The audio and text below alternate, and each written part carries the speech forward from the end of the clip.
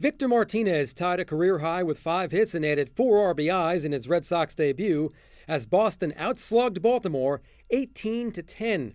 Martinez singled in a run in the second inning, got two hits and a seven run fourth, singled in the sixth, and doubled in the eighth inning. This is a great team, and, and, and, you know, like I say, it's pretty it's pretty tough to play against this team, and and, and I'm pretty, you know, I'm I'm I'm, I'm honored myself and just to be on this side now. The Red Sox obtained Martinez from Cleveland Friday before the non-waiver trade deadline.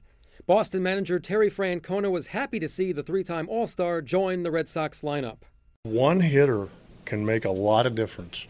He's a switch hitter. Um, it gives us, and we already, again, I know we've had our struggles offensively. We like our hitters, but this will certainly help our lineup. The Red Sox reached season highs in runs and hits with 23 in their fourth straight win.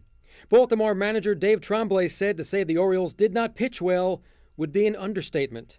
The Red Sox outscored Baltimore 28 to 15 to complete their first three-game sweep on the road since early June in Detroit.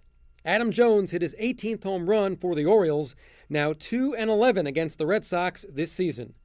Steve Carmazin, The Associated Press.